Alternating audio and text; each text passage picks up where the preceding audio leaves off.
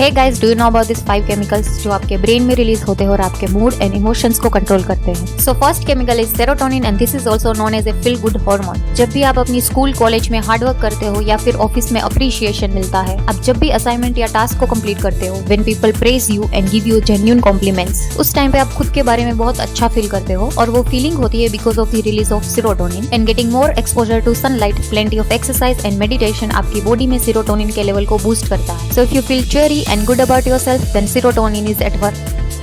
Second chemical is dopamine and this is also known as a happy hormone जब भी आपको अच्छे grades मिलते हैं, जब भी आपकी इंस्टाग्राम या फेसबुक की पोस्ट को लाइक मिलती है when you are closer to hitting your target या फिर आप कुछ भी अचीव करते हो, और आपको रिवॉर्ड्स मिलते हैं and when you deserve pat on your back उस टाइम पे आपका ब्रेन रिलीज़ करता है डोपामिन को, और आपको बहुत खुशी फील होती है। So you can boost your dopamine level by avoiding high fat foods sugar caffeine regular exercise getting enough sleep and activities that make you feel good like meditation dancing singing sports anything so is there a prize inside then dopamine is On duty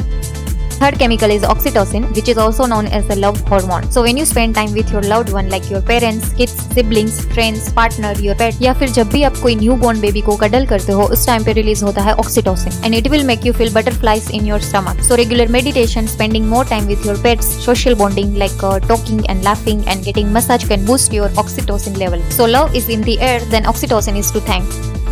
Fourth chemical is adrenaline and it is also known as a stress hormone so जब भी आप कोई dangerous और stressful situation में होते हो, या फिर बहुत ही ज़्यादा एक्साइटेड हो फॉर एग्ज़ाम्पल स्काई डाइविंग या बंजी जंपिंग करना, जब भी आप इंटरव्यू के लिए जाते हो या घुस बम्स आते हैं, उस टाइम पे रिलीज़ होता है adrenaline so you can boost your adrenaline level through deep breathing trying relaxing movements like yoga और tai chi talking with your friends and family and avoiding devices like phone before and at your bed time so do you have any fears then don't worry adrenaline rush is ready to attack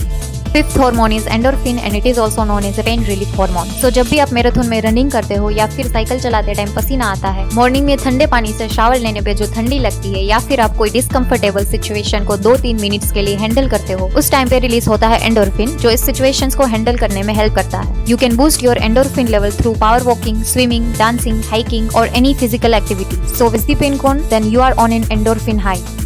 So after watching this video, if your dopamine level is increased, then please do consider to like, share and subscribe. It will increase my serotonin level. Thank you.